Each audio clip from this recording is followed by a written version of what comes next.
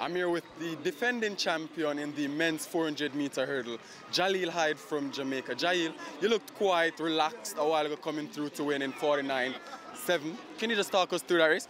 Well, I told you yesterday that today I'm going to step on the gas a little bit. You know, my coach gave me instructions. I think I did what he told me um, to the fullest. And I wasn't really, I wasn't running for the time, but I was just stepping on it a little to get a good blowout for tomorrow. The time 49.7 nonetheless. Tell us what does this indicate about your shape going into the finals? You can only speak for yourself. Just wait until tomorrow.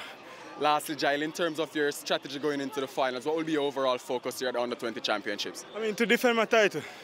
That's the aim that me and my coach set out when we came here to defend the title and just have fun. All right, thanks, Jaheel, and all the best.